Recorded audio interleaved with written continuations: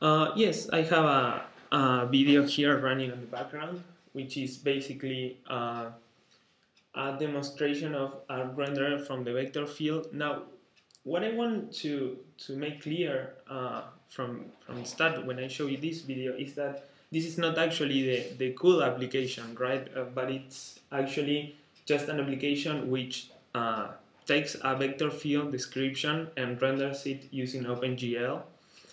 Uh, as, as you can see, uh, we have several obstacles on the vector field and we have a robot standing which wants to reach uh, the center of the field.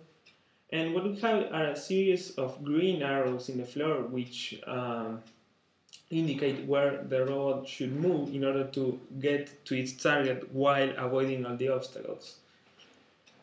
But once again, this is just something to illustrate the idea. The idea being that what we have is a cool application which was written in C++